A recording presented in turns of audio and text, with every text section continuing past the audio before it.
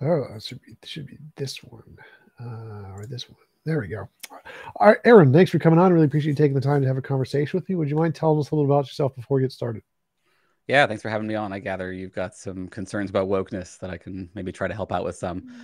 Um, so, my name is Aaron Rabinowitz. I'm a philosophy uh, educator, basically. I do moral philosophy.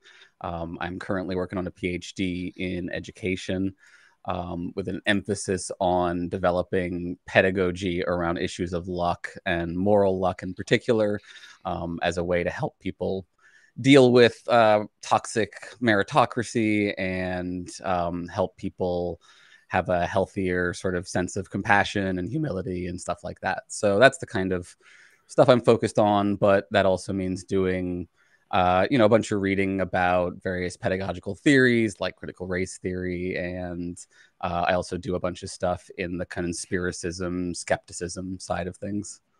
Cool. So we were talking on Discord about systemic racism. I think it's a poorly defined term. I don't think it's a very useful term. Mm-hmm. Um, I, if you watch the clip I sent you from some more news, he he said that one of the criteria for defining what something a good term is is if it already has a usage and there's a serious like bad mm-hmm. thing of it then making a new usage that doesn't quite fit that um, dilutes the meaning of the word. So like racism is a thing. I agree it's a real thing. Uh, but systemic racism doesn't seem to be as much of a real thing. It seems to be kind of ambiguous applies to literally everything. Like the example i gave with you was um, if a bunch of racists put a lion into a den and the lion was eating a particular race, would the lion be racist? And I'm like, clearly no. But you said it would be yes, because that would be the definition of systemic racism. It would be anything that works to benefit a racist system or something along those lines. Is that right? Or the idea would be that uh, systemic racism doesn't require intent. Um, so maybe it'd be helpful for us before we try to tackle systemic racism to just tackle racism first, um, because it seems like we probably have some disagreement about the definition of racism or racist. So, how do you define racism? Uh, discrimination, one group against another based on their racial characteristics. Okay, so for something to be racist, you have to have like a specific negative intent to cause harm against another group because of their race? I guess so. You guess so?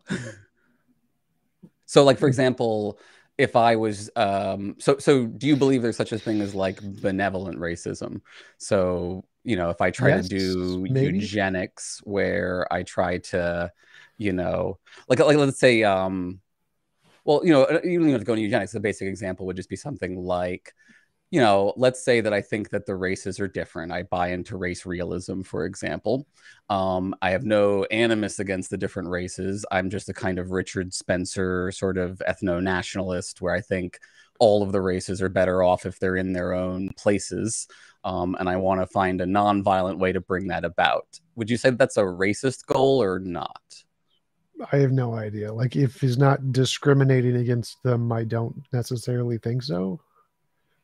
Okay, I I think it's important because I think I want to understand. You uh, you you seem to strongly believe that for something to be racist, the there has to be a certain kind of intent.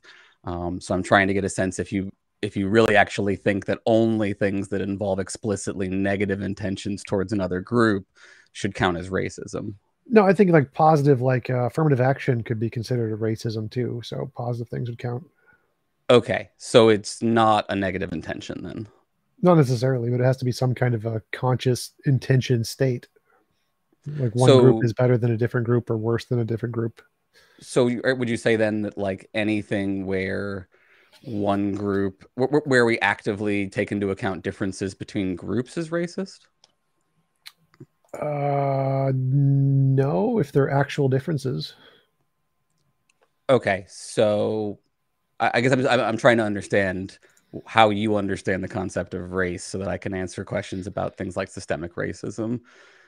it seems like you're not totally sure on how you understand the concept of race. Is that sure? It's it's not really a very well defined term, but it doesn't seem okay. like pertinent to the conversation. Like race is pretty easily understood as characteristics that differentiate different groups based off heredity and aspects of where physical traits. That's fine, but don't know why that would have any relevance to the problems of systemic racism or the definition of it because the problems are pretty obvious like the problems are leads to very counterintuitive things um, so okay. just granting the common sure. sense definition of racism doesn't seem to be an issue. Sure. I'm fine with there being counterintuitive conclusions, though, if they come from a reasonable argument, which I think is a lot of what philosophy does. So the reason it seems like it matters is because you were making an argument that your definition of racism is the traditional definition, and therefore um, you know, expanding the concept of racism as you would as you would put it to include both systemic and personal intent-based racism seems like a mistake to you, but that would all, argument would only make sense if you had a clear historic definition of racism that you were referencing. But so far, your definition. Well, no, none of that. None of that would matter. It would be completely irrelevant. So I'd say that the definition of systemic racism calls things racism which aren't, just are not racism. So like when the vast majority of speakers use the term racism. Mm-hmm. Uh, they mean something completely different from the conclusions of what systemic racism would label as racism. Okay, but that might just be because they haven't thought about, you know, the fact that there's more than one kind of racism. Do you think there's only one kind, or do you think there's possible there could be multiple kinds of racism?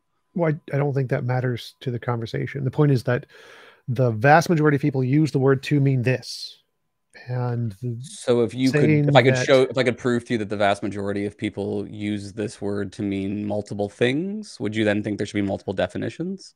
Uh if there's one that is a predominant majority then no the predominant majority is the only one that really matters here. So if the predominant majority use it in this one way, it doesn't matter if there's a bunch of other people who use it in different ways. Obviously, all words are have multiple meanings and definitions to them. What matters is what is the one that the society tends to use the most. And okay, so if the majority used it in multiple if the majority acknowledged for example that there were multiple kinds of racism multiple classes of racism let's say if it was the majority usage, only if it's the majority usage. Acknowledging, I don't care if they acknowledge it. What do most people use the word to mean? And okay. Would that so how do we how do we assess that? What's your sort of basis of evidence for the claim that they don't use it in the in both these ways?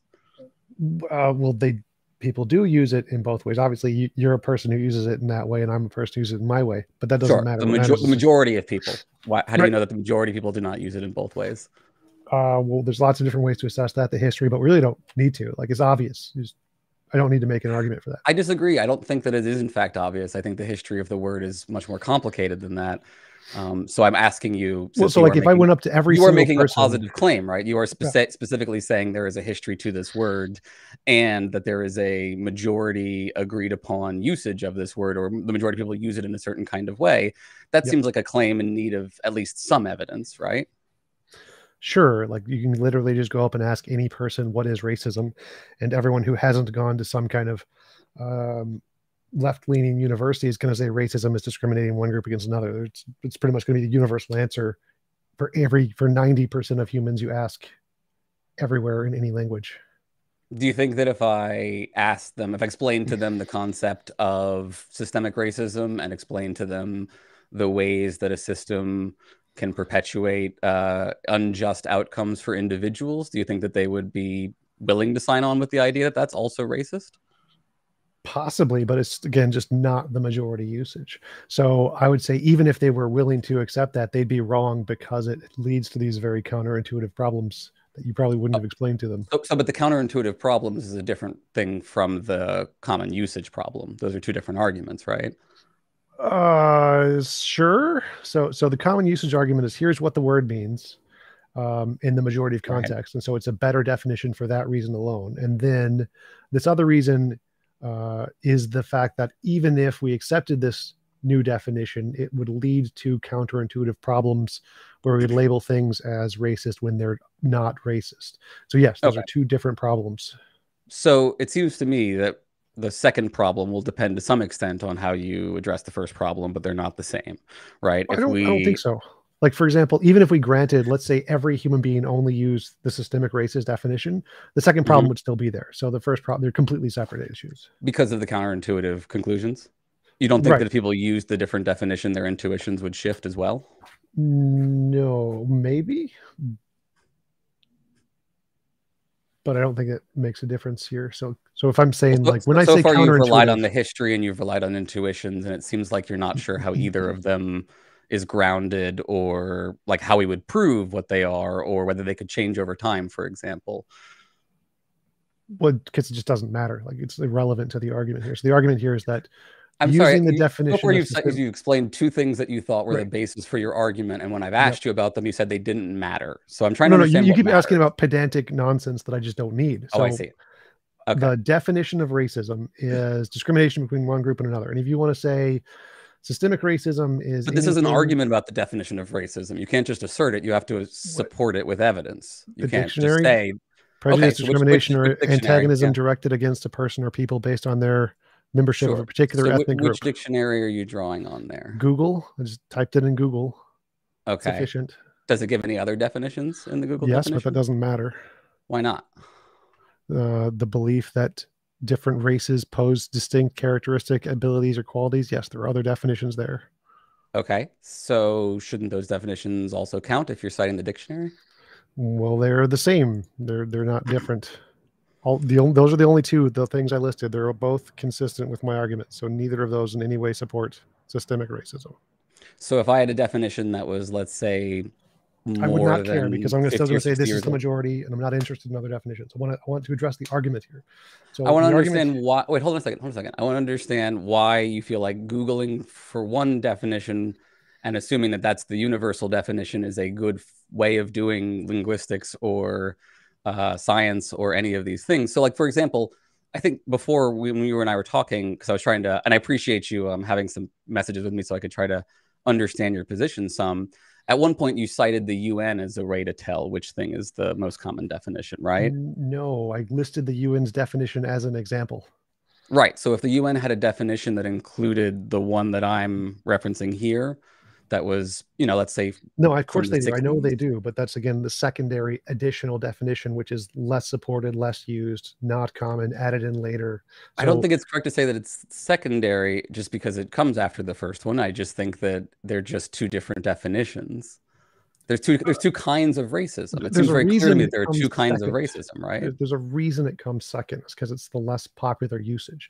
But I don't I don't want to debate like which one is the well, more popular. Hold, I mean, Everybody, hold on here. Anybody though. with a rational mind knows which one's the more popular usage. That's not. See, I think that's just an topic. appeal to popular opinion, that's fine. right? right? That's not actually like a good argument, though, topic. is it? I don't care. I don't care what you think about that. If you disagree, that's fine. All rational people agree this is the most common usage. I don't. I'm not interested in debating that topic. I want to know why do you think using this definition is good when it leads okay. to such obvious contradictions? Okay, so let me, I'm just going to read a definition from the UN and then we'll just say, you know, we, we, we disagree about the history, the usage, all those sorts of things, and we can move on to arguments about counterintuitive uh, sure. problems, right? So they cite racism includes racist ideologies, prejudiced attitudes, discriminatory behavior, structural ar- arrangements and institutionalized practices resulting in racial inequality, as well as the fallacious notion that discriminatory relations between groups are morally and scientifically justifiable. It is reflected in discriminatory provisions in legislation or regulations and discriminatory practices, as well as in antisocial beliefs and acts. It hinders the development of its victims, perverts those who practice it, divides nations internally, impedes international cooperation, and gives rise to political tensions between people. I think that's a pretty good definition, personally. Um, I just want to, you know, throw it out there, and I'm curious why you think that's a bad definition. It's all, you know, it seems to include everything that we've been talking about here so far. Well, I would just interpret that statement to affirm my position and not to affirm yours because I don't I just wouldn't interpret that to mean anything that uh, promotes a racist system is by extension racist. I'm sorry. So you would just sort of miss, just not include the parts in it that don't fit the original definition you had in your mind, basically? No, I'd say it just doesn't fit what you claim systemic racism to be. Like structural arrangements and institutionalized practices resulting in racial inequality. Uh, I would say that in like if it's de facto, then it wouldn't be racist. If it's de jure, then it would be racist. So in that context, this is a bad definition because it's so arbitrary. It would only be racist if the outcomes um, deliberately targeted a race. Like if it just happens to be the case that it affects one race more than another, that would not be racism. So, for example, say one race buys more of one type of food than another, and the price of that food goes up. The fact that it affects one race more than another would not be racist. There'd be zero zero racism there. But you would disagree, right? Uh, well, yeah. So I think, for example, I would argue that stop and frisk is a racist policy um, even when implemented by individuals who are not attempting to specifically harass uh, minorities.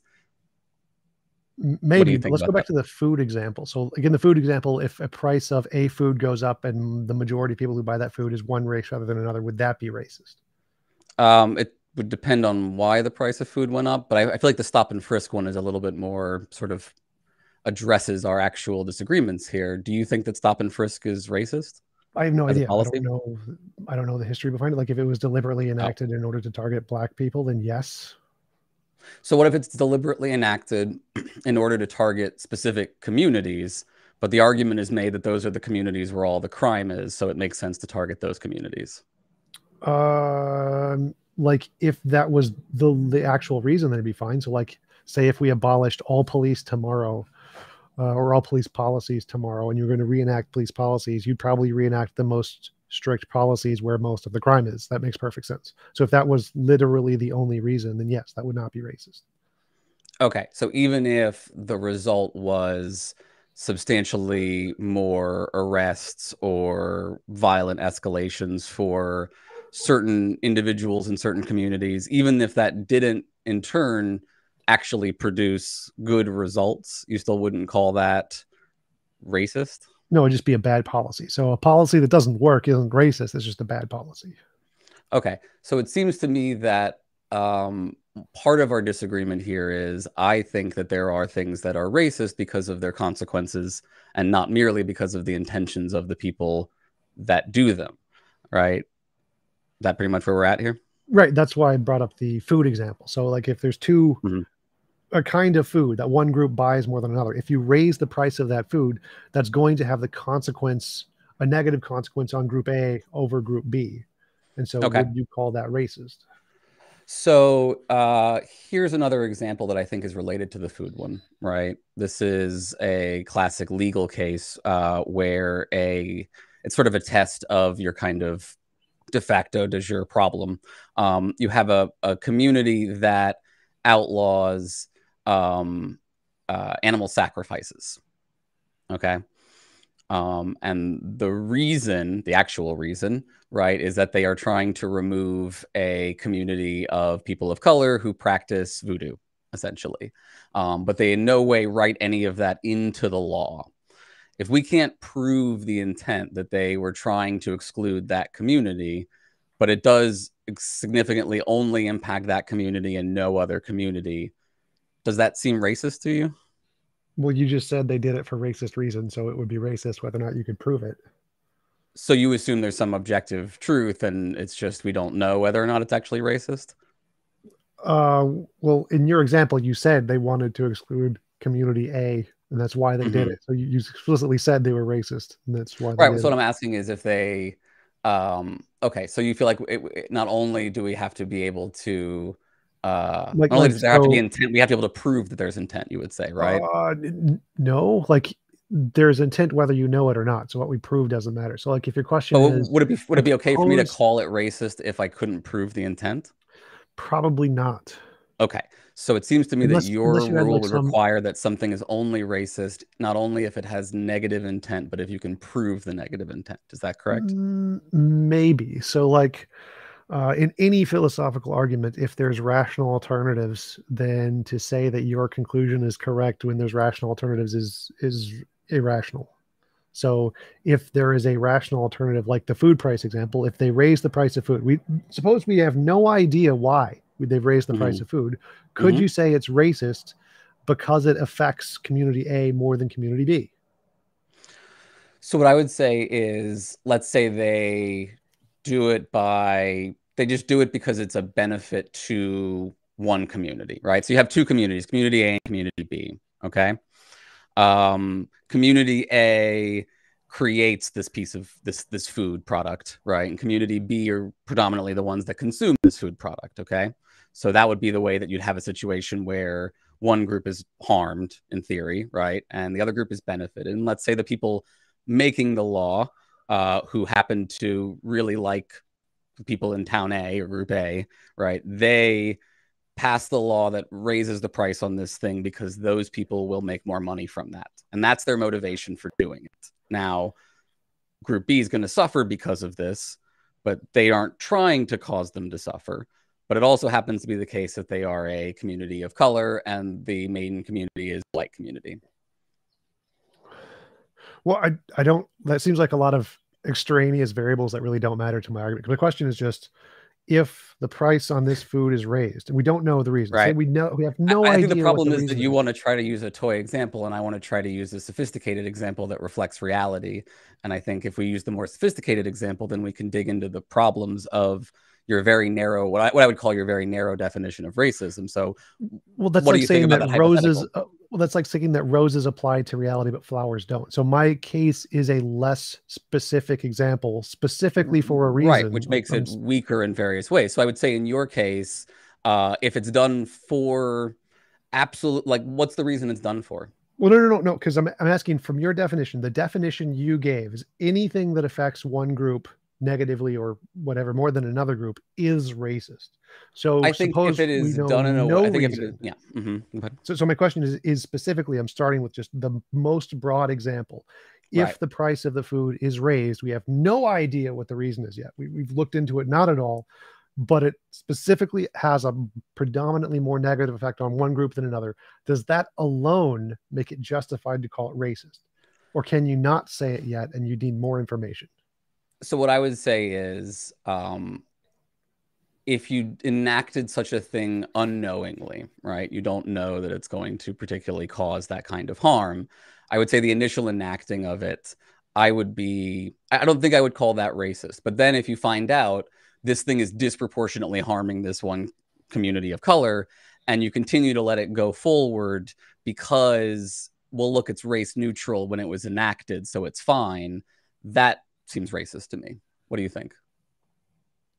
Uh, well, I, I'm looking at it from a perspective of not the enactor. I'm thinking like, imagine we see this like we're observers. We don't we don't write the laws or anything, and we just see that something happened. We don't know if it's a Right. policy or economics or supply chain. We have no idea. We just see something happened, Right. and it caused this product to raise in price.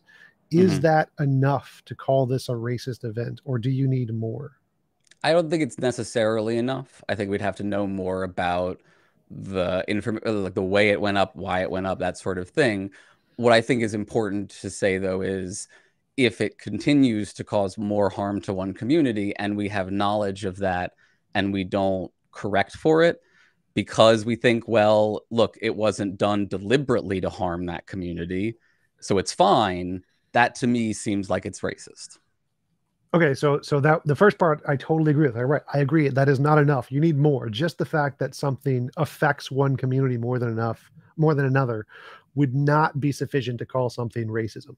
You do need something more than that. So you need to know how it affects the community, like eh, affecting the community over time, things like that. But yeah, I think it's not necessarily just malevolent intent that is the other thing you need. I think it's also what I'm describing in the second part of what I just said, which is right, right. If you to get to that. allow wanna- for the wanna, if like- you allow for a de you know a de, a de facto racist system to perpetuate, knowing that it is a de facto racist system, then I think that's racist. Well, you're right. I want to get into that part next, but my, my starting point here is Yeah. just to go like one step at a time and try to find uh, Sure. where we disagree, starting with the most general and then working to the more specific examples. And so we would agree that just an effect that has a negative impact on one community over another isn't enough to call it racist. You need more than that. We, we don't know what more yet. We, you need more than that. Yeah. So I mean, I think if a volcano explodes and it kills just one community, right?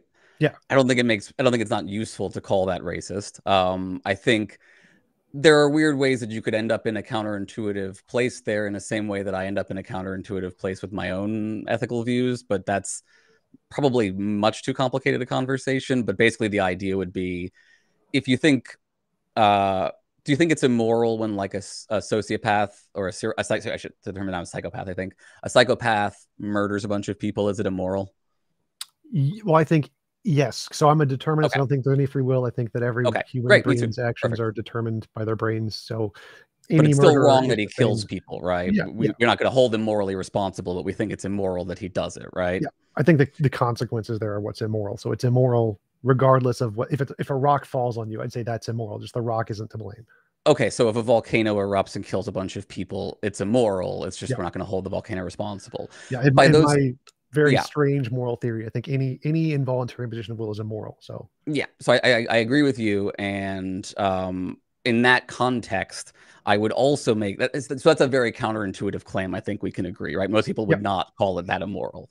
Definitely. I would say, in the same way, it is counterintuitively true that uh, something like that could also be the case where you could have a weird random event that happens to be racist in the sense that it produces racist outcomes. Um, if, if you are using the definition of racism, one definition of racism that I think is plausible, which is things that produce racist outcomes over time are racist.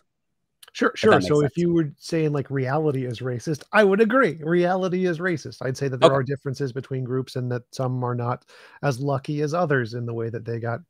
Okay, so that's not that's not a counterintuitive disagreement for us. So we can right, put that. Right. The counterintuitive disagreement for me is more when you say like, um, you're being racist for supporting or buying milk, and that's okay a, an impact of systemic racism. So that's conflating the two things of where you're merging this blameworthy individualness with that more global kind of a term. So, so I, think, I think that we should be careful there because if I were to, so let's say, let's say for example that you were buying your milk from KKK or something like that, right? Like you're actively supporting some incredibly racist organization by buying the milk, so that we can say you know there is something to the idea that it might be racist to buy that milk right? Just a slightly more slightly more complicated but not much more complicated thought experiment. In that situation i might say it's racist to buy that milk. I don't mean you have moral responsibility because again i'm also a determinist and don't think that you know you know you had the bad luck of buying the you know the nazi milk instead of the not nazi milk. Um, if you keep buying the nazi milk though i will say i think you're doing something racist despite knowing that it is racist and i think that makes you racist in the sense that like you know you have you are acting in a way that is having racist outcomes and i don't want to associate with you for example if you're going to continue to act in ways that have racist outcomes Right. How that, there, that? There'd be a disagreement. So I would say that again, that wouldn't be enough. You need to know why. Like maybe the KKK is the only place that sells milk within 100 miles radius. Then no, they're not being racist if they buy milk there. Or maybe it's just the closest to their house. I think what we would say there is that they are. So this is, you know, this is maybe another sort of moral philosophy debate where we either agree or disagree. But like, I, I think when you have a complicated moral action and it has positive and negative parts to it, the negative parts don't go away just because there's also the positive part. So if I buy milk from the KKK to feed my starving family, I think I've done an act that's both noble and racist, right? Like it's mixed, it's a mixed bag. And I think that is an understandable conclusion to come to, even if I think that it was justified. I still think that I haven't done something that has no negative out, out you know, consequences, essentially. Well, I guess so. The first question I would have is does simply buying milk from the KKK count as a racist act? I'd say probably not, unless the money was specifically used to harm African Americans or something. Um, Do they spend their money on a lot of other things besides enacting race war and whatnot? I don't, I don't, you know, the books of the KKK at this point, but I guess I think it's not unreasonable to say if you are, you know, if we scale this up a little bit and we're not just talking milk, we're talking, you know, a lot, you're buying a bunch of, you know, drugs from the KKK because they're growing drugs illegally or something. You are uh, contributing to their criminal empire, which they will use to harm people of color. Like that seems like a pretty straightforwardly racist behavior. Well, so the, the harm people of color here is the part I'm asking about. So it seems like the KKK doesn't really do much these days. I haven't heard much of them doing anything Um, pick pick your pick your favorite, you know, white supremacist, uh, black supremacist, but pick whatever racist organization you want. The the theoretical experiment's the same, right? Well, right. But my my statement is is suppose they only hate black people but never harm black people. Um, oh, I um, see. then it doesn't involuntarily race, racist celibates is what you're saying here. Maybe so. So so simply buying milk from them doesn't harm any black people, so it wouldn't okay. seem to be racist in that. As case. long as the KKK is not doing anything racist, then it seems fine to buy milk from the KKK. They no longer seem to be the KKK to me because the essential feature of the KKK was that they did a bunch of racist shit. So, right. you know, you successfully reformed the racists. Congratulations. But I, you know, I think that doesn't well, really so, solve so that was, the problem. The question was like, for your uh, position, it seems like well, my question is, is if they have racist opinions, but they don't act on those opinions, simply buying milk from them isn't by extension racism. Yeah, I question the possibility that people have there's a, that it's that it's psychologically possible to have racist opinions but not have them influence your behavior. I'm not following. You don't think wait, you're not following the possibility that like when people have racist views, it influences their behavior no matter what? That's a, yeah. at least a plausible argument, right? A plausible position. Well, no. So, like, I think that suppose someone's a racist and offering to sell someone a home, and as long as they have enough money, because he cares more about money than the racism, he's probably equally going to offer the exact same price to two people of two different races. I don't see that as a logical contradiction at all. I mean, but there's a long history of people will, being willing to sacrifice benefits to themselves for the sake of screwing over people of color to some degree, or like, you know, doing it even not in ways that they are consciously necessarily aware of, but you know, feeling like they can get more out of someone, feeling like they can get away with slightly more. You know, we all in our interactions with each other do things that to some extent are about, you know, negotiations at the edges or things like that. And there's a lot of evidence that like you know, even people think that they're like being nice to the poor black people or something that they're actually not. Um, so right, I guess I'm, yeah, I guess I'm curious was... what your evidence is that this doesn't, that like there's really the possibility that someone can have like genuine conscious racist beliefs, but not have them influence their behavior in any way. Well, it's just economics. Libertarians do it all the time. Um, so it seems like because your statement was that it's impossible for people to have racist opinions and have it not affect their actions in some way. And it seems saying, well, highly no, improbable to me, and I've never seen anybody do it. And so I'm looking for evidence that you would provide to substantiate the claim. So you say libertarians do it, but like, do they really, care, or do they claim more about do it? Money than racism than your predominant belief system or what's most important to you is going to guide your set of actions. Except we know that, that like situation. human beings tend to act irrationally. And so like they can claim that they aren't, you know, discriminating or it isn't impacting their behavior, but human introspection is fallible. Like why do we have what reason do we have to believe people that it isn't impacting their behavior in this way? Uh, because like if they make an offer, put their house on the market for eighty two thousand, somebody makes the offer and they accept it or something, or if they give a job to someone who's qualified because regardless of skin color, like yes, I think it's perfectly logically possible. Do you think that's sufficient? No... Because like there's plenty of examples of racist people hiring people of color. Yes. So I think so, there are plenty of racist people who can overcome their racism because they care more about. Have money. they overcome it, or are they just racist but are example. like hiring that one person because it's in their best interest to do so? Like, I'm, yes. I'm not sure what you mean by overcome here. So they have racist beliefs, but they don't act on those racist beliefs to restrict the rights of the group they're racist against. So if a black person comes and uh, try applies for a job and he's qualified and does a good job and makes the company lots of money. And if it's run by a racist, but they care more about money than the racism, they'll still hire the person.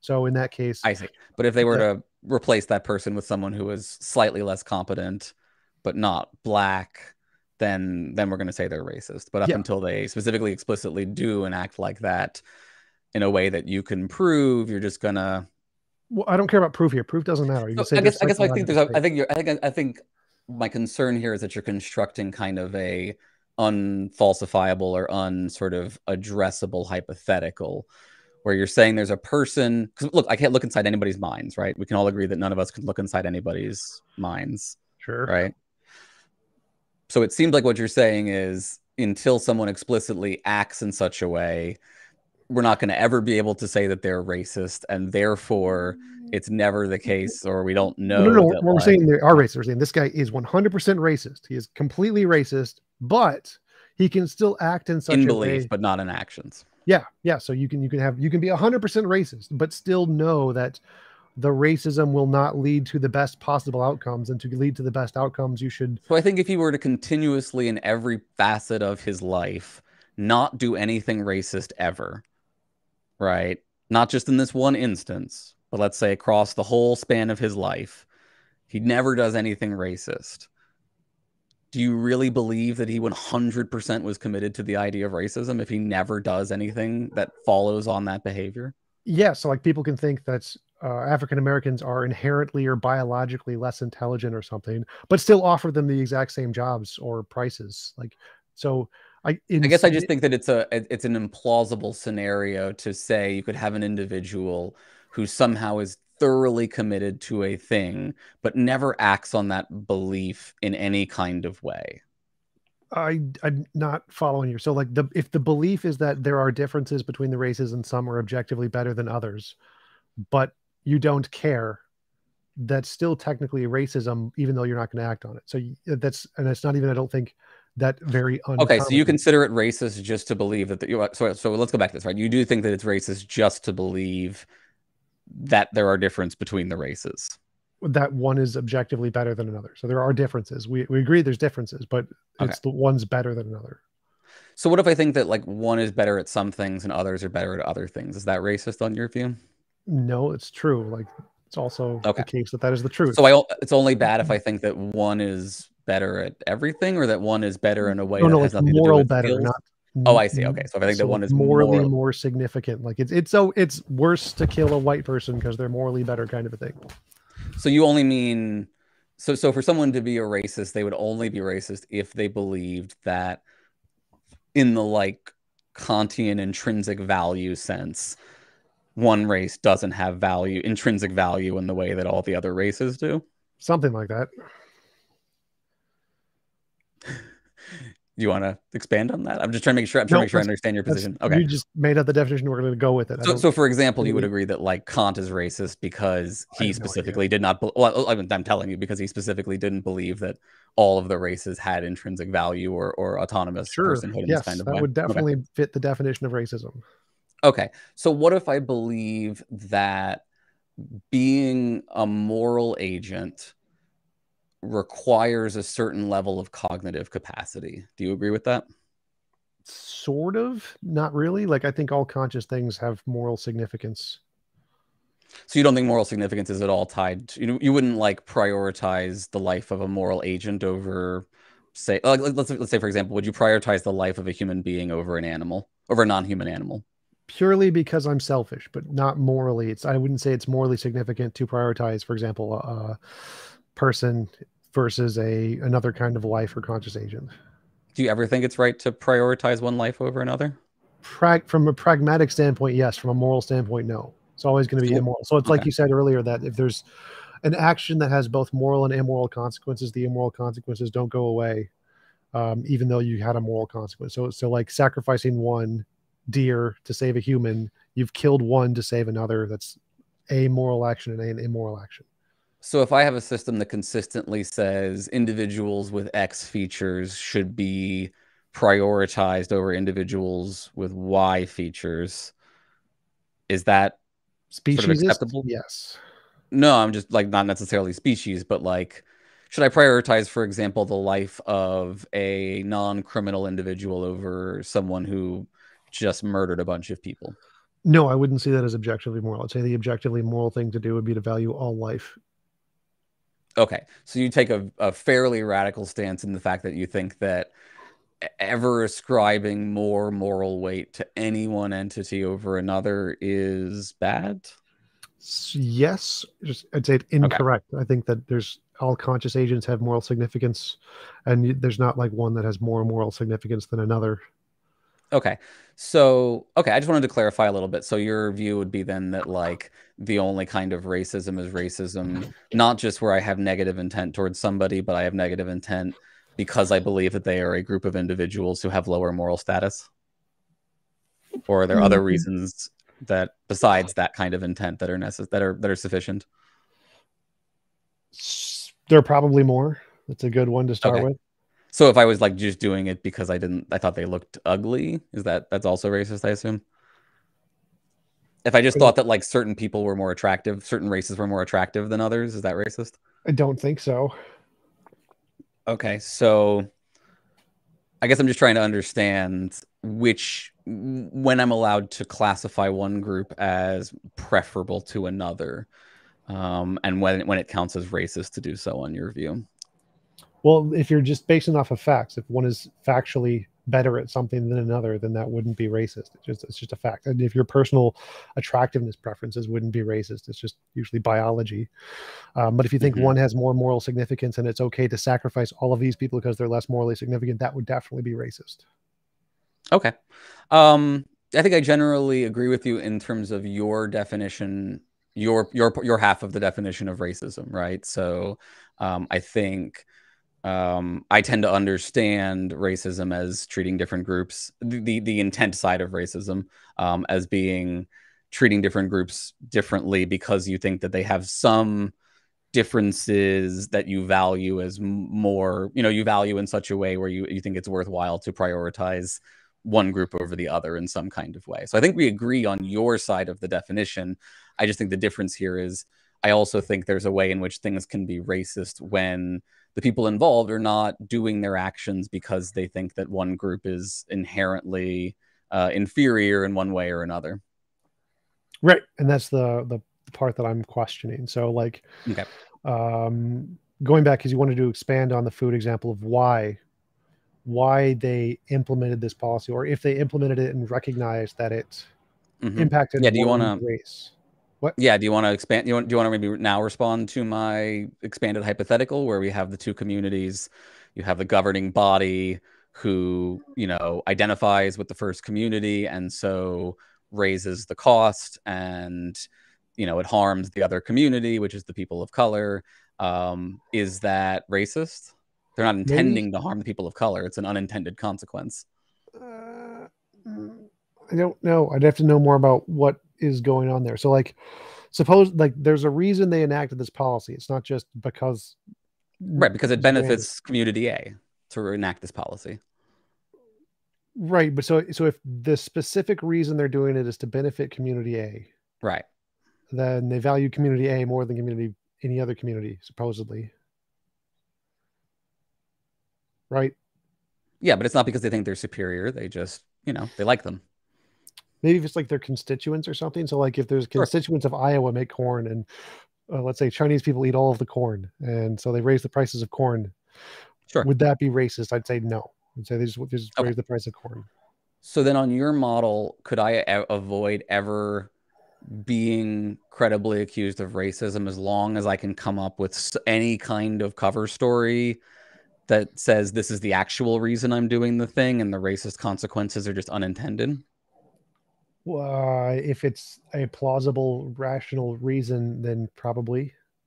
Okay. So like if we raise the price of corn because we want to improve increase living standards for the people of Iowa, that's a pretty legitimate reason. That is probably a better conclusion to draw than to say they're racist. Okay. So let me ask you: Do you think that the historic practice of redlining was racist? Mm, yes. Okay that contradicts your definition because the historic practice of redlining had a had a plausible cover story which was this is a good way to figure out what are good bets for loans and not. The whole idea was you had to figure out which communities you know which areas were a, be- higher or lower risk at repaying the loans. And when you figured that out it happened to be the communities into which people of color had already been herded. So redlining, it would seem like, would not be racist on your view because it has a justification that is plausible from the bank's perspective. Uh, well, except we do have explicit evidence of people explicitly saying this was targeting black people. So we have pretty explicit evidence. so we have some people saying that it was specifically targeting black people, but there is a plausible reason why a lot of other people did it that was not targeting black people. It seems to me. Yeah, so it seems yes, in that way identical to stop and frisk. Well, so so I would say it's not the case. So like I wouldn't say that redlining is equivalent to uh, what's it called? Uh, credit scores. Credit scores do the same thing. They mm-hmm. assess who will be likely to pay back their loans, and it does disproportionately affect African Americans. They have lower credit scores, so they get less good loans rates. But I don't say, think credit scores are racist. Redlining is specifically more racist than credit Why? scores. Like, would you disagree? Yeah, I would mostly disagree both because of the history of credit scores and redlining, and because it seems like you're you haven't made a clear distinction between them. Some people well, use credit scores racistly. Some people use redlining racistly. Some people have plausible, deniable justifications for both. Um, I'm not seeing a difference here from you. P- people use. I'm not. Sure, are credit scores themselves racist? Not do people use them? Are credit scores racist? In the same way. so if the credit score is, is assessed in such a way that it often uses various proxies for race, for example, which is a common algorithmic problem in AI ethics. So, for example, let's say it's not you're not allowed to assess person's actual race when doing a loan or a credit score check or something like that.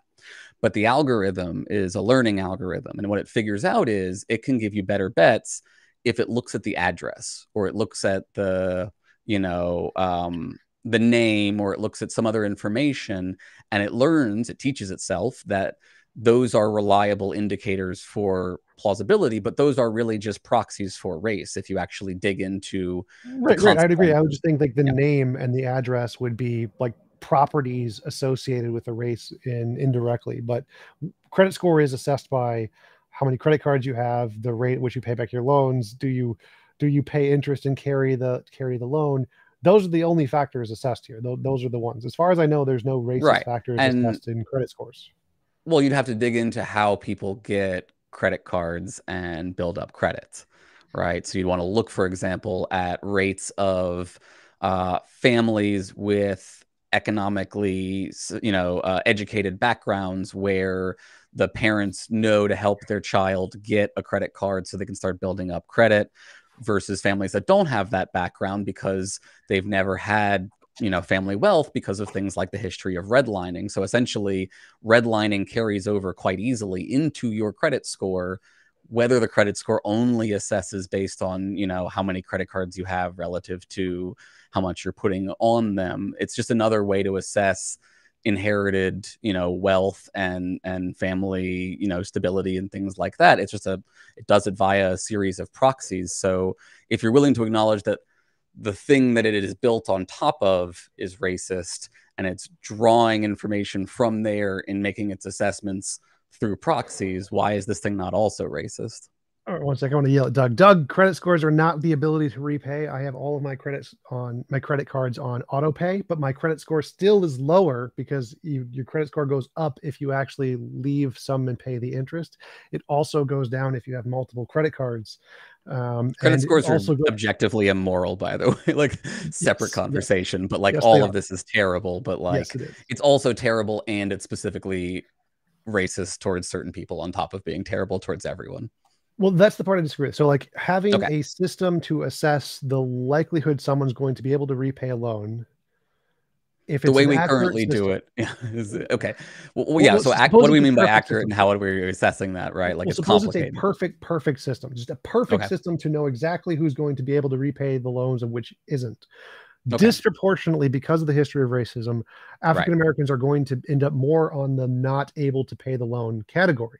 So if this right. is like an, a god himself came down and said these are the people who can pay back their loans or whatever, would that be racist? I would say no. He's just giving facts. And so if there is a system like credit score which just lists the facts to give an accurate representation of who can pay back the loans without any racist influence, it's just literally listing the facts. Just literally an assessment of facts. Yeah, yes. no, I don't. I don't think literal assessments of facts are themselves racist. I think it's how they okay. are applied or misapplied that makes them racist. Right, I would agree. So I would say that that's the difference between credit scores and redlining. Credit scores are just. Oh, so, but I, I, think credit scores are not just the number themselves; they're the actual system of implementing them. I thought you were talking about like the whole actual system that has consequences in people's lives, not just a number on a page somewhere. No, I'm just just the number, just the number itself. Okay, well, that's not racist, but it's also not what we generally conventionally mean when we talk about the system of credit scores, right? That's an abstraction from it that is in assessing its act. Like, of course, it's not racist. It has zero implications in reality by definition because of the way you just said that, right? But like, if we're talking about this system that has consequences for people's lives, then yeah, it's racist. Um. Okay, so so let's say go back to the God example. God says here are the people who can pay back loans, and then the banks look at that and say, okay, so we're going to give the loans to the people who can pay it back. Is that now racist? Yeah. How? Because they should acknowledge that there is this history of racism that makes it the case that certain individuals can't pay back those loans and create a system whereby those individuals can recoup past uh, recoup costs from past harms in such a way where they can accrue family wealth as well as individuals who benefit from the privilege of already having family wealth. That would if seem I'm to a bank, ethical thing to do. Well, if I'm a bank, I can do one Mhm. thing, which is give people money, and I need it back to be able to function and have a successful business. Me creating an entirely new business model to try and solve this other problem is completely outside of the purview of my job. Um, so, how is it racist for me to do my job and offer loans to people who can pay it back? Okay, so this gets in. I mean, this gets into a complicated question. I think of like, what do I do when I'm part of a racist system? To what degree is it okay for me to be part of that racist system because I don't have a way to change that racist system currently and need to continue to feed my family, right? But that's not a that's not an argument that the system isn't racist. It's just an argument that we Well, might yeah, I'm not asking assess specifically the about the moral. bank. Is the bank racist? Uh, not asking like we can grant that the system is racist. Is the bank racist for reading these numbers and saying, "Here are the people who I can loan to, who's going to get me a, profit"? Um, I would say that the bank is contributing to racist outcomes. Do we agree on that much at least? Maybe. Looking for a yes or no. So I would say that. Are there racist outcomes in your view? Well, yeah, definitely. Um, Okay, but so racism can apply to not just intent; it also implies the consequences on your view. sure, Okay, so there are racist outcomes. sure. Okay, so a system that produces racist outcomes is, in my view, a racist system. I wouldn't necessarily agree with that because again, it would say like if it's simply facts, like if all of the food, like suppose one race eats nothing but caviar and lobster, which is are extremely expensive, and they spend the vast majority of their money on caviar and lobster, I would not say that system is racist. Even if they're disproportionately poor because they spend all their money on caviar and lobster. Because they are choosing to do so, you mean? Yeah. But you just said you don't have free will, right? Why would choice matter in this context? I'm trying to understand why. So, like, I don't think that it's so, like, the necessarily. So here's what I would say: if, for example, they didn't have other options besides lobster and caviar, then is it racist? Uh, maybe depends on why, but my my concern here is when you said the system is racist. So Mhm. suppose they do have other options.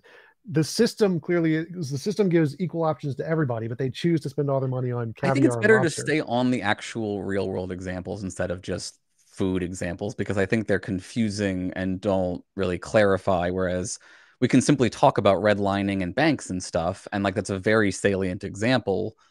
I, I don't understand why we want to move off of it. history. Like, like I, I grant racism was a thing in the past. My objection is with the definition of systemic racism. So these Right, but you've are- agreed that there are there are racist consequences. sure.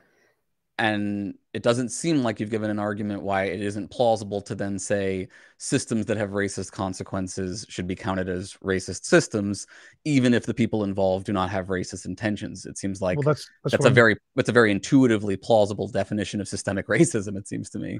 Well, that's the whole point of the lobster's caviar example. So the lobster's caviar example, if we use the, the argument you just gave or the statement you just gave, right. is it fair to call a system who offers equal opportunity to everybody, but one group chooses to eat lobster and caviar and spend a lot more money on lobster and caviar, and therefore they have a disproportionately negative outcome? It seems by I don't think it's true that they have a disproportionately negative outcome in that necessarily have a disproportionately negative outcome in that situation.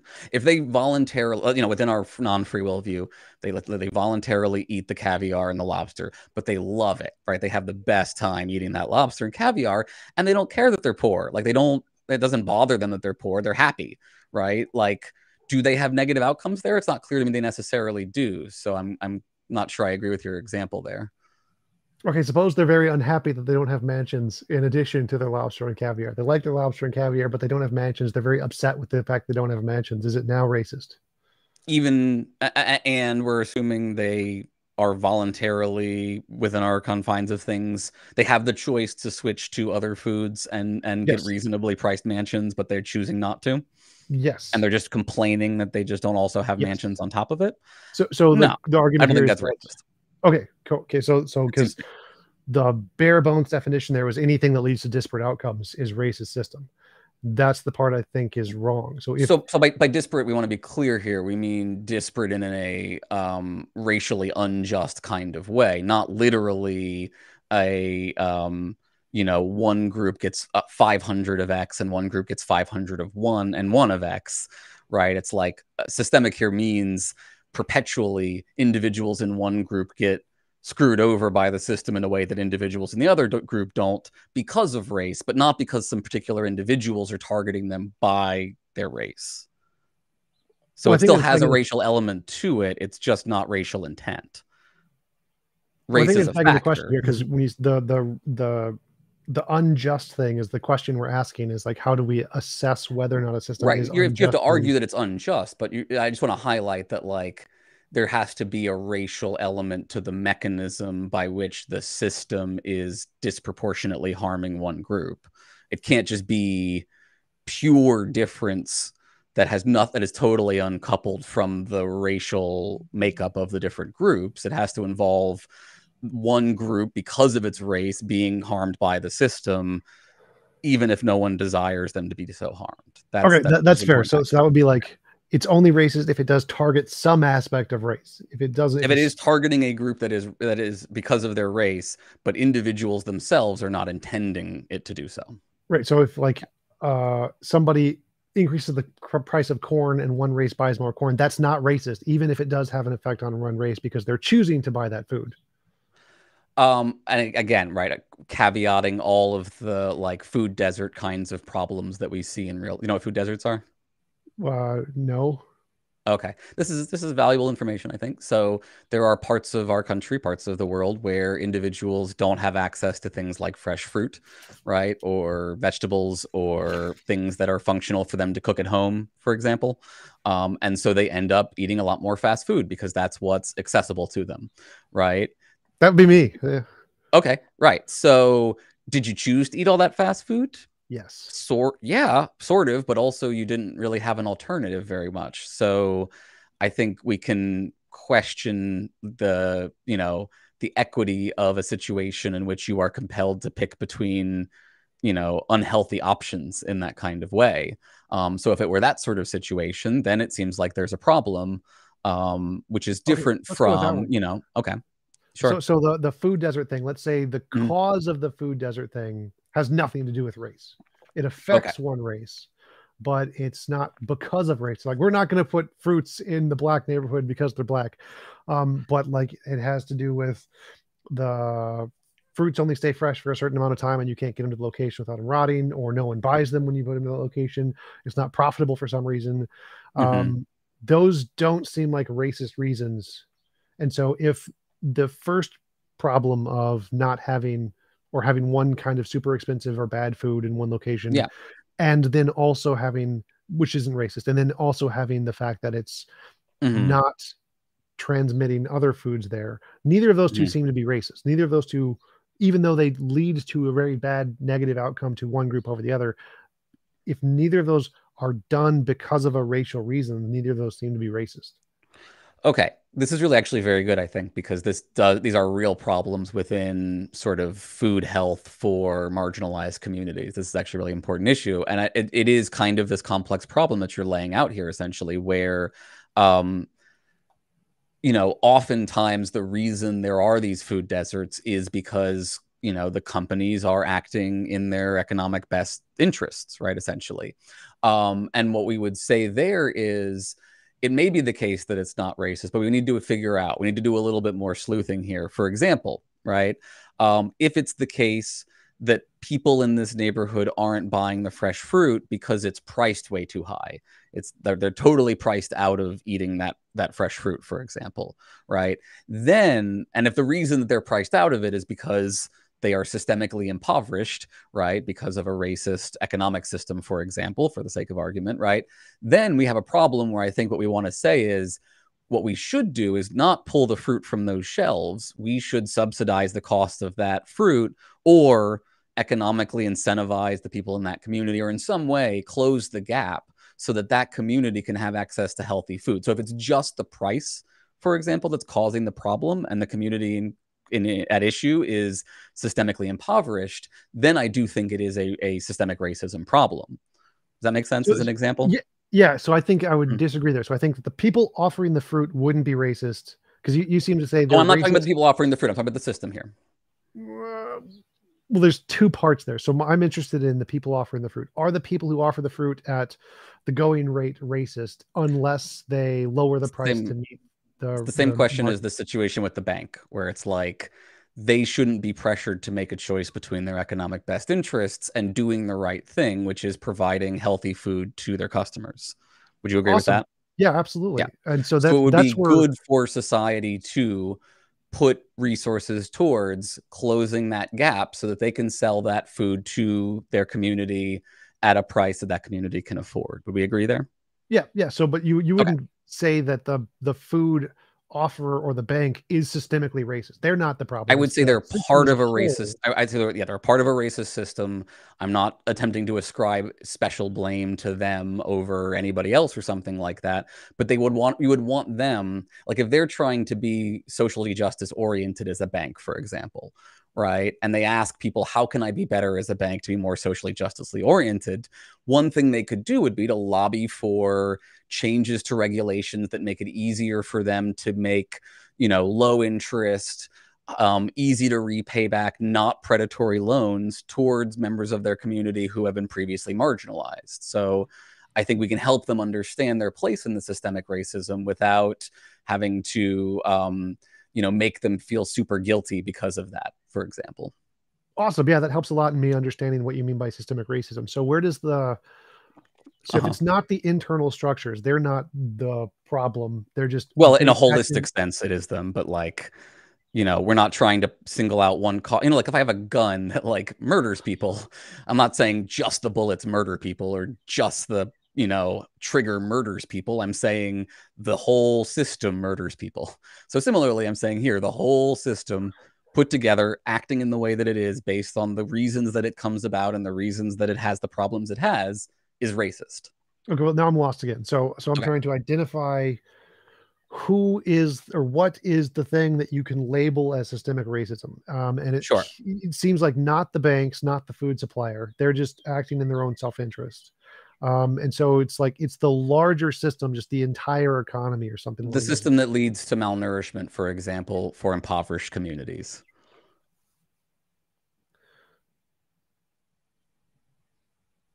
Okay, but I don't. I'm not understanding how that's racist because that's true. Like literally in every system, there's no system that can prevent that. Oh, there are systems that could certainly reduce the amount of suffering, the amount of uh, malnutrition, the amount of problems for low income communities. There are lots of ways to do that. So let's say that um, trying new systems is expensive and it causes lots of failure. And so, in the way that the system is thinking about it, they don't want to try some new system because if they fail, more people will end up in poverty. And so, the current okay. system minimizes poverty. Would that be racist? So, that would be an additional cost benefit analysis question, right? Where it seems like you're already accepting my conclusion of the previous one, which is this you know a system that impover that where impoverished individuals be, who are impoverished because they're marginalized you know minority status um, have you know nutritional mar- marginalization added on top of that because of this system that that is racist. And then the question is is there a way to make it better and what are the costs of trying to do so? But we've already agreed that it's a specifically not just bad but racistly bad system it seems like. Well so partially yes partially no. So like it doesn't need to be. So you just say there's any any capitalist or any system of economics is going to have people in poverty because we don't have a perfect system yet. So because okay. we don't have a perfect system some people are going to be in poverty and your argument that we there are some things we could do to mitigate the poverty problem.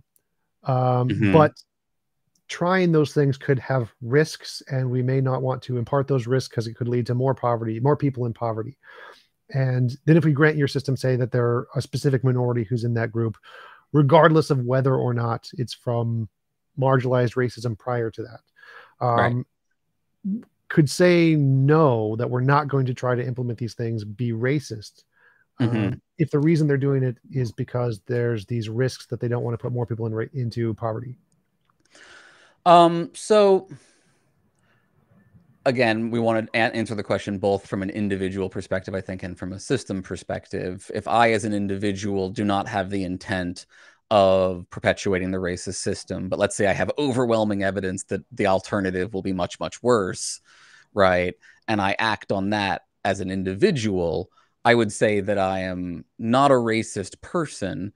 I am allowing for the perpetuation of a racist system I'm doing so for what I think is a justified reason. But I think it goes back to the example earlier of I, you know, bought a bunch of drugs from the KKK, but I needed the drugs really badly, right? Well, so, explain that more. So, so like, say, mm-hmm. forget from the individual perspective, from the system perspective, from the from system, system perspective, uh-huh. um, the system thinks that it's too high risk to try to do these things. So there um, at the systems level, it seems like you are accepting some racist consequences because you don't want to risk worse consequences. Is that correct? Yeah. Yeah. Okay. So it seems like that action uh, is racist in the sense that it produces racist consequences, but it may be, you know, if, if you really, you know, stretch the limits of a thought experiment, you can make almost anything ethically justified, right? That's that's just a reality of thought experiments. Um, so if you stretch it far enough then like yeah racist consequences are justified because it's better than the whole species dying out or something like that right? So like i think you can make a case there but it doesn't make the action you know again it doesn't uh, completely evaporate the racist portion of the consequences.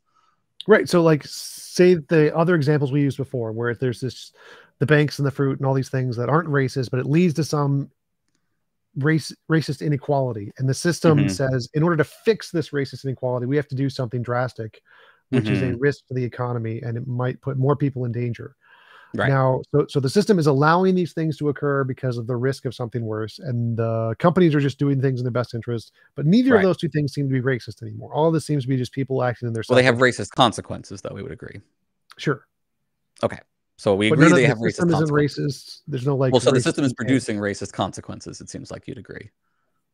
Yes, but there's okay. no intent there. So no, if, but that's not necessary for the systemic racist account. So that's fine. Well, so so my problem here is that if the system is working in the best way it can to try to promote the quality of life for the most people it can, and it happens to be the case that one group is not as successful in the system. Mm-hmm. I don't see that as a racist system. I think the system is trying to fight against nature, which is trying to kill us. Nature is just trying to kill everyone um, all the time. Mm-hmm. And we have a system that's trying to fight against the killing of all the people from the nature and some okay. groups aren't as benefited by that as others. I don't see that system as racist because the system isn't targeting race. It happens to be the case that one race. So it seems like you, you just keep smuggling back in the intent um, principle, where I think we've made it. I think I've made a case that it's not necessary. Let me let me try another thought experiment example since we're we're doing those. Do you know the the Ursula K. Le Guin "One to Walk Away from Omelas" short story?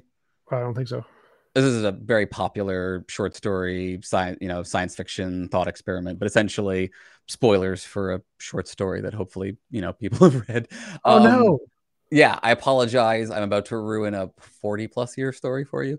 Uh i don't even know how old omelas is. Um so here's your story right? It's a big beautiful city omelas it's gorgeous. It's blessed. Everybody is happy in it. Everybody's everybody but one right?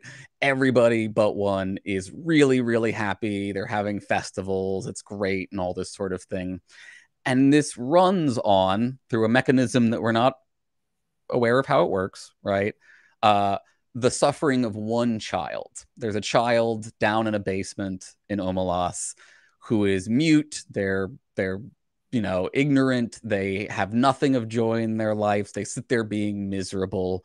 And that makes the system function, right? And people come and see that system. People come and look at the child sometimes. And sometimes some of them walk away, right? Some of them leave Omelas because they can't accept being in that kind of system, right? Um, I'm curious, actually, first of all, if you think that that's a just system, assuming there's no alternative for Omelas. It's either that child suffers in this one way persistently for their whole lives or the system collapses? And b do you think that system is a system that involves child abuse? Yes. Okay. Is it a system is it, is it a child abuse system? Uh I'd say the reality is a child abuse reality, and the system is trying to, its best to try to circumvent that. So, like, if okay. the system is fighting against reality, and the best it can do in reality is to abuse one child to save many, then okay. I'd say the system isn't what's the problem here. The problem here is the reality. The, the whatever is causing reality to place this limitation that you must torture one child to save everyone else's lives. The reality is evil. The reality is definitely an evil child abusing system. But I wouldn't. What if you could have a significantly is... worse system, but it was just like you don't get all the golden, fancy beautifulness. You just have you know something closer to subsistence living, not as much grandeur, but no systemic child abuse. Well, it's definitely like I would say that if everyone can still live within their needs and not die or whatever, then that would probably be preferable. But if okay. the choices are torture one baby or everyone dies, that would be where it's like the system isn't the evil thing here; it's nature is the evil thing here. What about when we make the transition from torturing the one kid to the subsistence? Everybody's you know mostly well off. That that transition involves some substantial risk. Do you think that there's some obligation to undertake that risk for the sake of trying to bring about a better system? Well, if the risk is everyone dies, uh, depends on what the percentage is. Like if it's like one percent, so probably it's a complicated question for you. Yeah. You would say, okay, just curious. Yeah, I, I don't think it matters too much for our argument because I think at the end of the day, what we're saying is still this is an unjust system but maybe it's the best unjust system available to us in, in a Hobbesian Leviathan kind of way, right? Like maybe having a brutal dictator is just the best system because human beings are terrible and democracy is a bad idea, kind of, in, in a kind of way. Is that sort of what you're getting at here?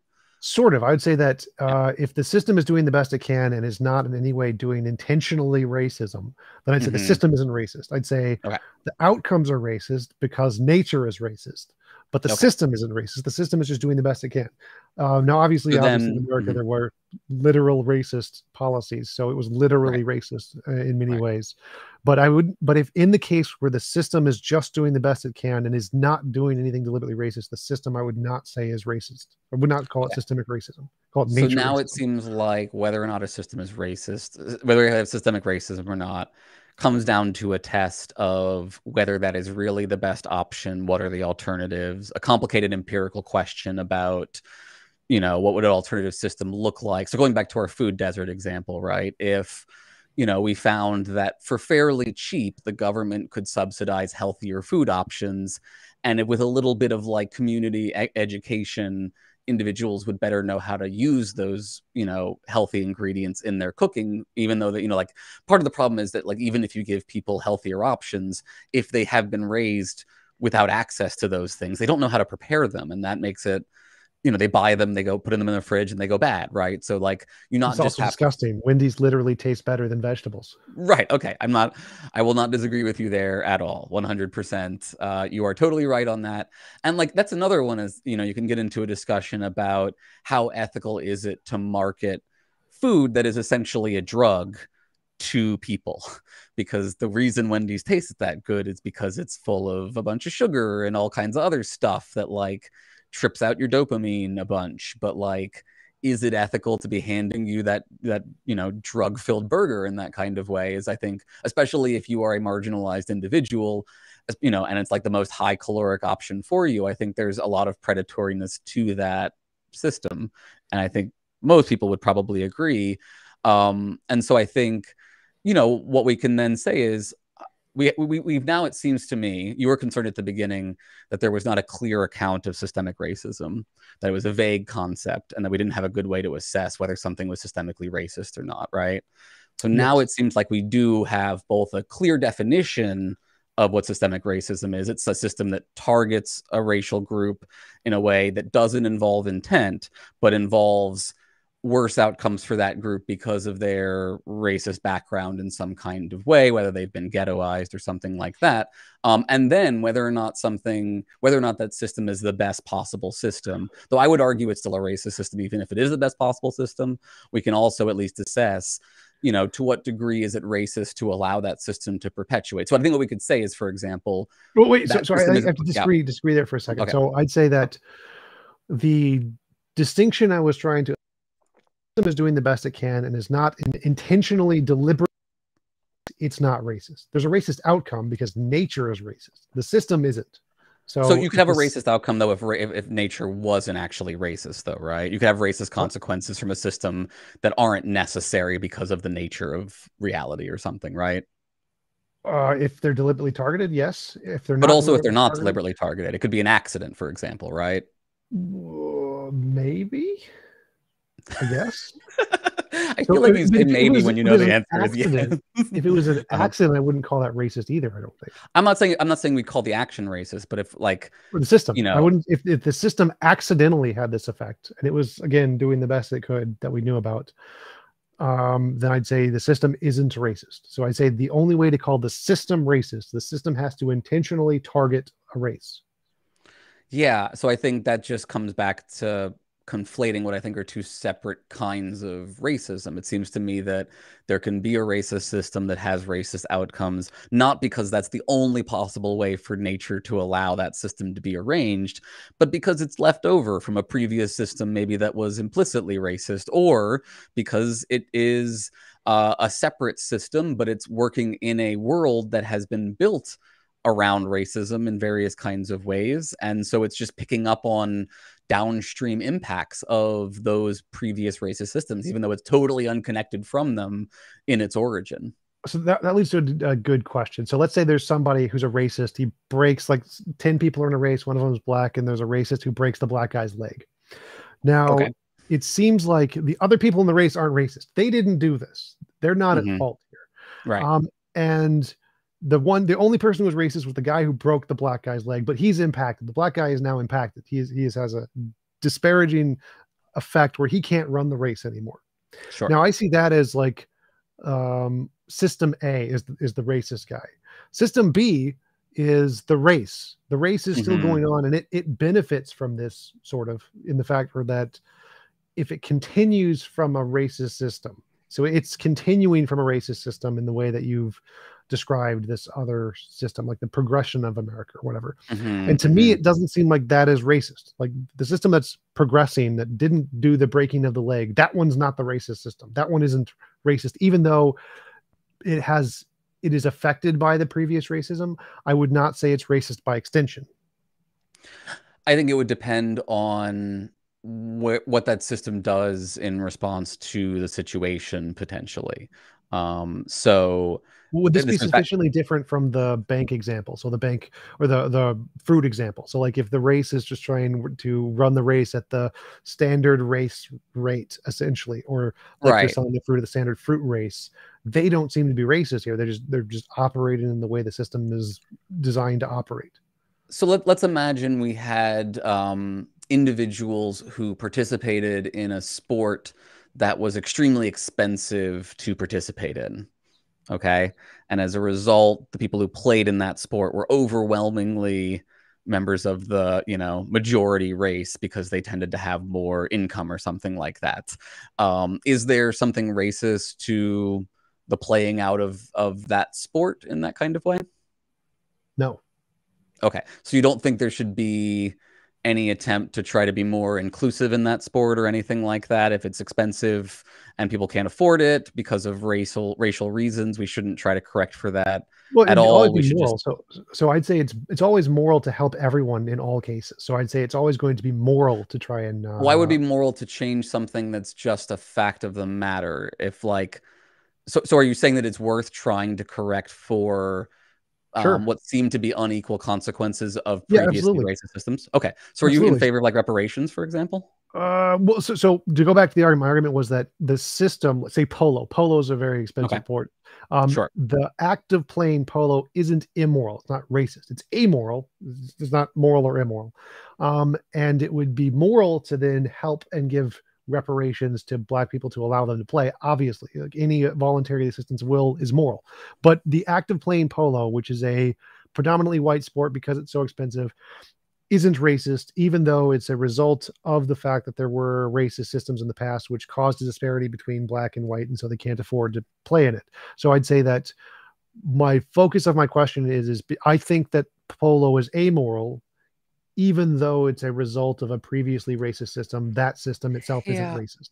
I think it's more complicated than that personally. I understand where you're coming from. I do. I think for me, um, I, I think there's sort of a uh, like um we, we, you know we have things that are like explicitly really deeply immoral in their racist outcomes like the food desert thing for example where it's like people's lives are at risk malnutrition you know diabetes these are real like physical problems. zoning laws for industry uh, Sure. Yeah. The the locations of um, uh, health hazards are are disproportionately around low income, which are disproportionately minority communities. Another good example of yeah a systemic racism problem that may not necessarily involve any kind of intent. It's just that's the place you get it put who has the least amount of you know political clout and pushback.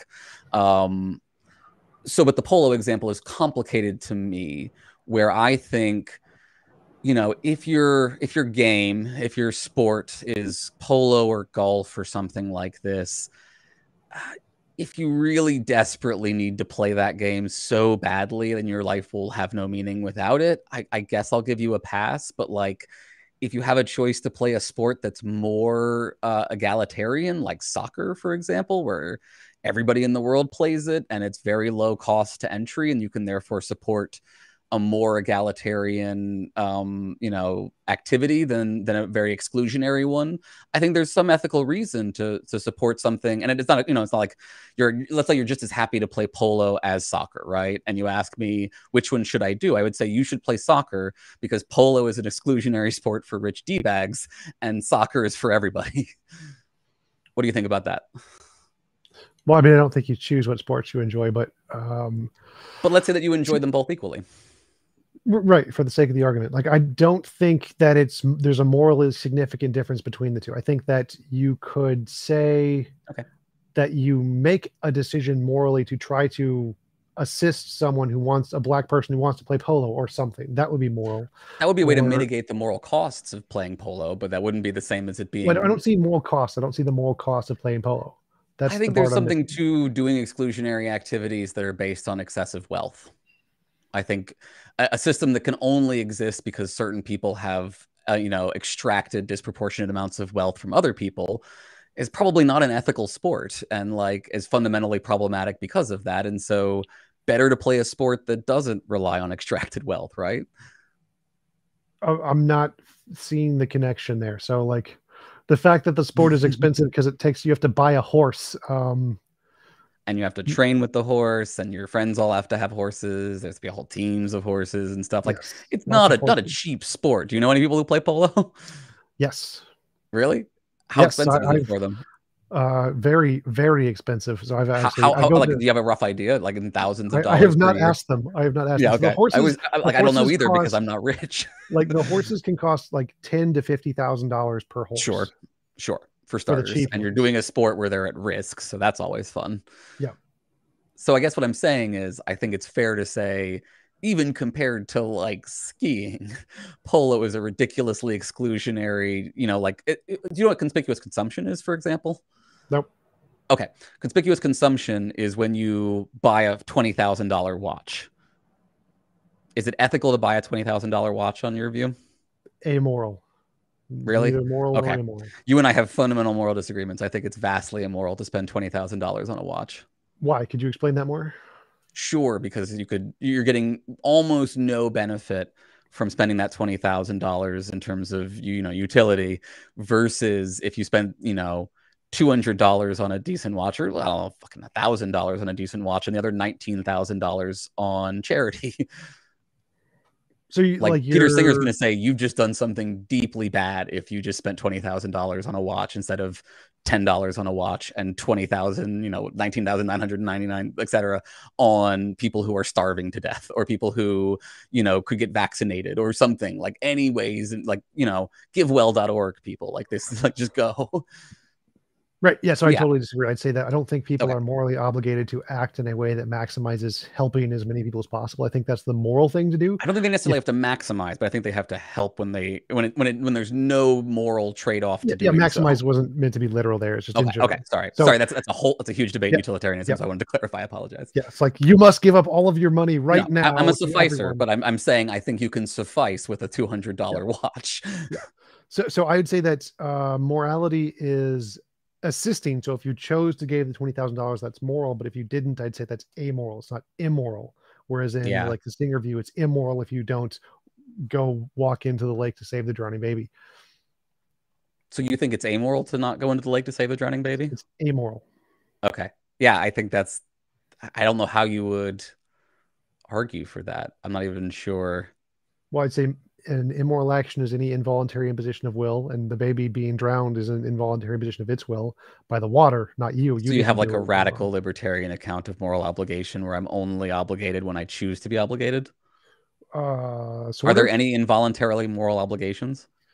Invol no, I don't think so. Other than okay, other than yeah, that seems impose. Yeah, I, I think that's um a fundamentally flawed moral framework, objectively false, and probably very harmful if people adopted it wide scale. But I guess you know that's going to just be a larger disagreement than we have time for, obviously. But we can just agree to disagree about that, obviously. So I think, on my view, you know, allowing for the perpetuation of a racist system, even passively, is to some extent an immoral act because you have an obligation to try to improve the systems in which you live. It sounds like you don't think that's the case. And so maybe that's just a part of our fundamental disagreement here. Yeah, I think definitely. I think that the freedom of choice thing matters and forcing people to be obligated to help when they don't necessarily want to is actually immoral. It's immoral to like force them to be obligated to do things they don't actually consent to doing. Do you think it's okay to pressure them, to bug them, to try to argue in them into doing so? Um, as long as it's consensual, as long as they consent to being there. As if you're like, in front. What if I twist their arm only home. a little bit? You know, like what if I try to bribe them? Is that is that fine?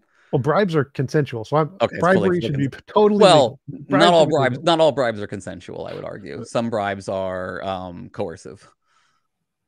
I guess so. Yeah, those would be bad. So, but yeah, I'd say that as if they can block you or mute you or tell you to shut up and they can consensually walk away, that's fine. But if you're infringing on them an involuntary imposition of will, that's immoral.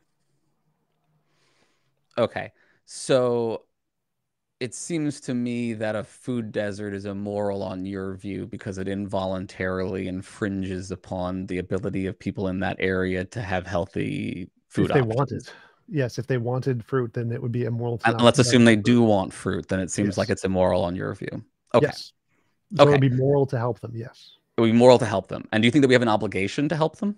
No. On your we, view? Amoral. We don't have any moral obligation to help. so we don't have amoral. we don't have any okay, so we don't have a moral obligation even to intercede when someone's freedom is being infringed upon on your view? Yes. Like if you don't consent to and to being a part of that situation, it is immoral to make you obligated to be a part so of So you don't situation. believe you just don't believe in moral obligation full stop, it seems like. Yes, that's correct. Okay. I don't believe obligation is necessary for morality.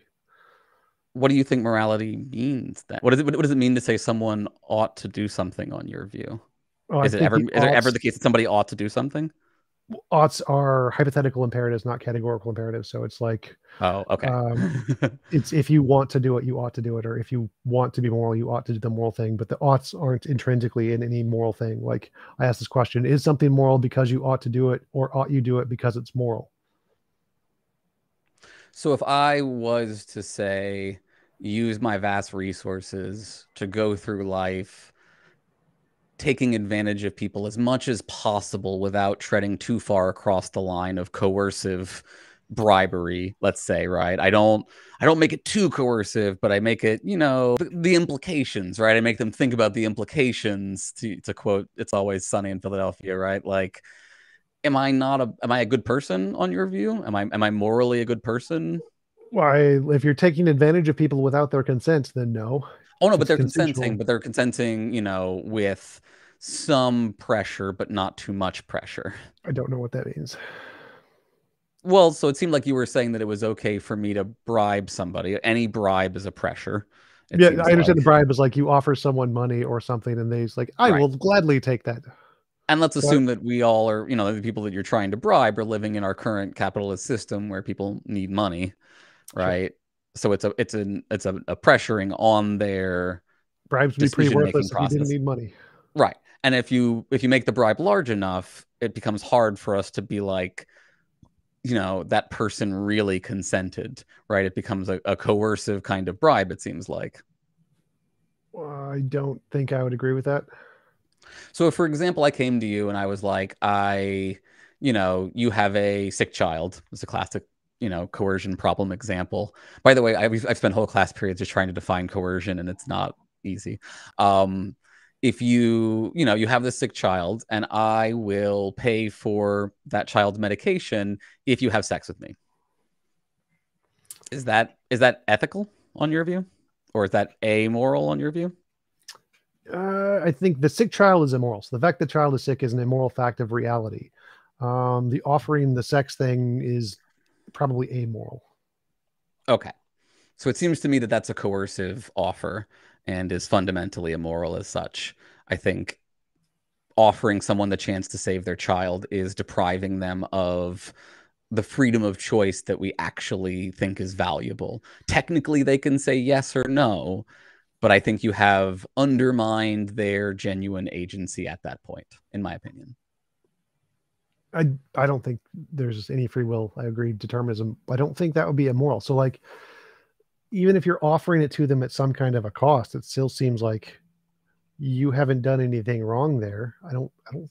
Doesn't seem like you've done something wrong. You don't there. think you've made their life worse by they having to choose between having sex with you against their will you know they don't want to let's say or they really don't want to have sex with you but their choice is that or their child dies you don't think that that mm. has worsened their options in life no i think that's improved it so now they have a way to save their child which is usually a better thing yeah so this is actually a common um, misconception that all choices are, be- are benefits it's not always good to have more choice that's actually well, no, no I mean, the choice yeah. of sex versus dead child I, presumably saving the child would be a greater positive than the sex being the bad. So it seems like if you compare those two examples, you've given them a way to have a better option um, by causing example. a bunch of suffering to themselves. Yes, but it's less than the amount of their child dying. So if you, right, say, so you're you're saying uh, um, accept harm and I will help your child. Yes. Okay, that to me is a fundamentally coercive offer. Does that seem fundamentally coercive to you? what seems coercive that their child is in sick and needs to be cured in the first place. And but you taking advantage of that situation that, is not coercive. Not exactly. Like if you're still what, what do you think a coercive situation problem, looks like? Pointing a gun at somebody and saying, "Give me your wallet." Okay, but you just incentivize them. Like you, you give them a choice. They have a choice. They can just give you the wallet, right? well the choice isn't the problem here the, the, the it's the cause of the damage so if nature for example gives a kid cancer um, and you offer to fix it at some cost you haven't done the immoral thing there nature did the immoral nature thing. nature gave me the gun and gave me the will to use it to take your money so what's the difference uh you have a mind so compatibilism is a thing let's say i don't let's say i'm a sociopath like is you it okay that i take your money sociopath yeah but it doesn't understand morality understanding morality is irrelevant. So like if you're okay. a rock or something, then it would be different. But as long as you have a compatibilist mind, then no, there's a difference between you and nature. Yeah, but you and I are both determinists. We agree there's no right. difference between me and nature, right? So no, I got no, I got the gun by a nature. You are I got the will by nature. nature. You are yeah. a part of nature, and there's other parts of nature that are not you. So there's okay. a you part and a not you part. I'm not sure why it makes a difference on your view, though. Is the thing. Like all of it's part, part of a deterministic system. Which part is the the morally culpable part? Is it the you part or the not you part? And in the case, so if I the, use the gun to steal your money, but I do it for a good reason, still you. Okay, no. but I'm doing it for a good reason, right? Well, that would just be one moral thing in addition to the immoral thing you're doing. So it'd just be okay. two things there but it's still immoral because you're still pointing a gun at somebody. But for example, if someone had their kid get cancer, you didn't do that. You were not morally culpable for the cancer. And if you offered to fix them at some bad consequence, you also have done nothing immoral there. Okay. So again, this may be a difference between you as a libertarian and me as a pluralist who thinks that there are moral obligations beyond um, you know, not holding a gun to somebody's head. Um, I think we have positive obligations, not just negative obligations. Um, I think that trying to only have one kind of obligation eventually falls apart, partly because you can flip a lot of obligations into one format or another in a kind of linguistic way that kind of raises doubts about the actual difference between you know these these obligations in this kind of sense or suggests that there maybe isn't a distinction a, a substantial moral distinction right? The holding a gun to your head to have sex with you you know like i hold a gun to your head and say you have to have sex with me right? Versus i will save your child's life if you have sex with me in both cases i'm i'm offering a life for sex right it's yeah the, the child's is, life versus your own life yeah the um, difference is, is who's causing the damage to the life. In one case, it's sure. you, the same person making the offer to save it. In the other case, it's nature, someone else. Right. It makes me morally culpable in to some in, in one sense, but I also think they are both coercive actions as well. Yeah, I don't, I don't think the I don't think the I don't think the coerciveness of it depends on the fact that um I didn't cause the kid's cancer, is what I'm saying if I take uh, advantage of your, you know, vulnerable situation as a parent of a sick child, even if I didn't cause it, I'm still taking advantage, right? Uh, sure, but I'd say the okay. moral significance because that's the framework I'm talking about is the moral significance. Did you do the immoral and immoral action from this? I'd say no. See, I think Maybe, taking advantage of, to... of marginalized people is doing an immoral act even if, if you didn't put them in a marginalized position to begin with. Like if, if I come upon people who are impoverished. If yeah, you're so offering them assistance, uh-huh. mm-hmm. then that wouldn't be immoral. So even if you're offering them uh, assistance in the form of them having to do work or something and you're paying them, I wouldn't so say if that's I offer taking them, advantage of them.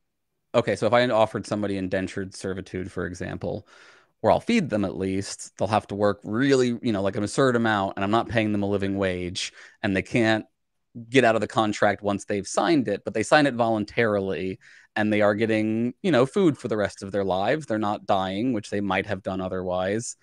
Is that moral on your view? Uh, well, that if they can't get out of it, that's an involuntary imposition of will. But it's but they, they entered into dying, it voluntarily when they signed their way into it. If as long as they can leave voluntarily, then it wouldn't. Why? Be... I mean, why is that necessary? Why can't they? Why can't someone sign a contract on your view that says I knowingly and willingly sign away my ability to leave? Uh, because the consequence and the what's it prerequisite or don't match there. So like if you're starving to death, that's an immoral action in and of itself. So that's already immoral. And then someone comes along and says, I'll let you, I'll save you with food, but you have to serve me for the rest of your life or something. Mm-hmm. Um, the first immoral action is the starving to death. That's the first thing that needs to be solved. Mm-hmm. Offering the contract isn't immoral, but if after they've signed it they want to leave, you're now forcing them to not leave, which is immoral. Because so by your by your system, no contract should be binding because holding someone to any contract is an involuntary imposition of their will, right? Yes, sort of. So you should have no contracts on your view. Sort of. Okay, that seems like a reductio ad absurdum to me, right? Like, I think we should be able to make agreements and hold people to those agreements. No. Uh, in the perfect world, not necessarily. No, we wouldn't need that. Like in our okay, but in the real world, world in the ag- yeah, well, okay, there's a difference between like objective morality. I know, but we've been spending this whole conversation in the real world. So switching to the perfect world at the la- at this moment seems well, weird. When talking about morality, we're talking about the perfect world. That's no. When talking about morality, I'm more more, more often than not talking about morality as applied in the actual world. Okay, when I talk about morality, I'm talking about the best of all possible worlds, and that's what objective morality is. So uh, the why? reason I switched, we, to... we don't live in the best of all possible worlds. So why would we talk about a morality in a world that doesn't exist? Just the definition of objective morality it has absolutely nothing to do no, with our previous the definition of objective morality. No, no, no. In in no, actually, I, like I literally wrote my dissertation on it, so I'm telling you, it's not the definition no, no, of objective in my model, in like, what objective yeah, morality okay. means is morality in the best of all possible worlds. So when you're asking about morality in my okay. model, you're talking about what the best. Where did you get the definition? Is. Where did you get that definition from? You know, in my model of objective morality that I, I wrote. See, so you, you made up that definition. Yes. No, it's not the definition here. So in my model, objective morality refers to morality in the best of all possible worlds. Weren't you arguing at the beginning of this that we shouldn't make up new definitions for words if there's already a functional and acceptable definition. This is like I didn't bring this into the conversation intentionally. This was just you brought up. More. I know. I'm just. I, I just think it's funny that like you're saying my objective def, my definition of objective is not the one that's used in moral and meta ethics literature. What? But it's okay for me to make up that definition. No, I'm not making up a definition. I'm saying when I use objective morality, I'm referring to my model, which has this as the consequence. I'm not literally making a definition of objective morality. Objective morality is just things that are true independent of opinion not right. not literally changing the definition. Okay. So yeah, sorry, it seems confusing. When, when definition, when I said definition, I meant I'm when I use the word objective morality, I refer to this, not okay. not literally changing the definition. Because the thing, okay. the facts so, that I think so the only thing that true, you think is objectively true is this. What is that? What you're saying? You're saying that this is the only principle you think is objectively true? No, gravity is okay. objectively true. Objective. I mean, moral means... prin- moral principles. We're, we're, focusing on morality yes, here, right? Yes, I think yes. the only objective moral principle is the involuntary imposition of will is immoral. Okay.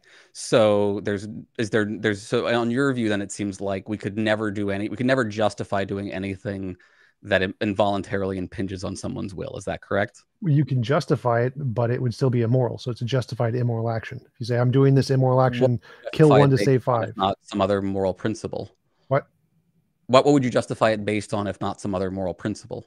The imposition of will. So if you like killing five if if five are going to die and you have to kill one to save five. So the only moral conflicts are when there's is... what?